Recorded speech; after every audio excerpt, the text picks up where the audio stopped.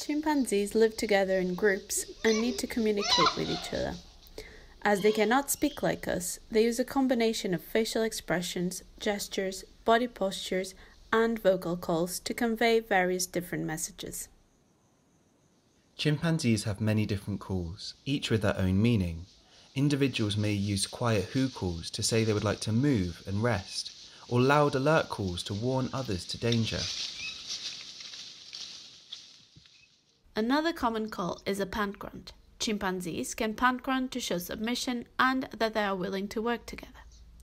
This is common after disputes or when making contact. Here, we can see a male joining a group and pant grunting in the hopes that others will share food with him.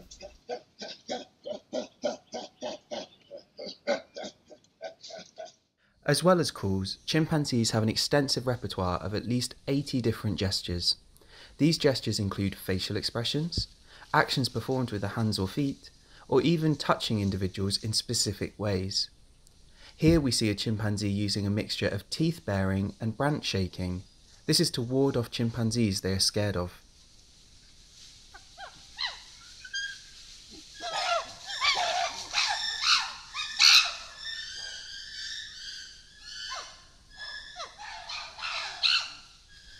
Gestures are also used between chimpanzees who are friendly to each other.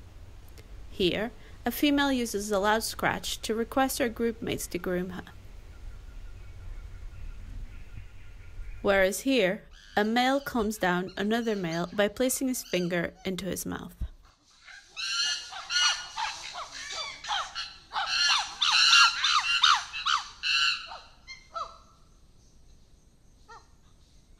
Some elements of chimpanzee communication appear to be cultural. Chimpanzees learn behaviours, such as leaf clipping, from other individuals they live with. It seems that the meaning of this leaf clipping behaviour changes between chimpanzee communities. For some communities, leaf clipping is an invitation to copulate, whereas in others, it's an invitation to play.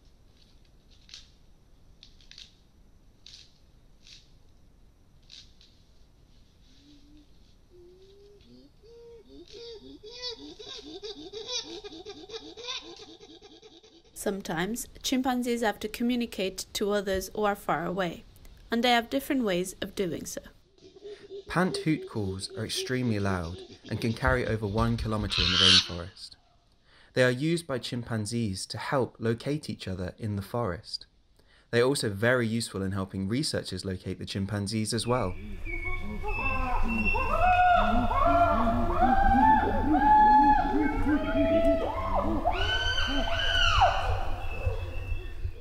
Chimpanzees will often pant hoot as a group, a behavior we call chorusing. This can get the group really excited and may allow chimpanzees much further away to tell who is together.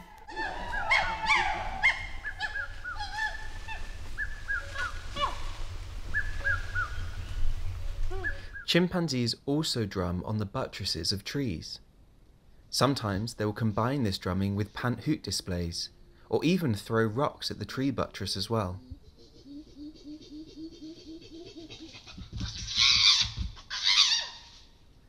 Even young chimps like to have a go.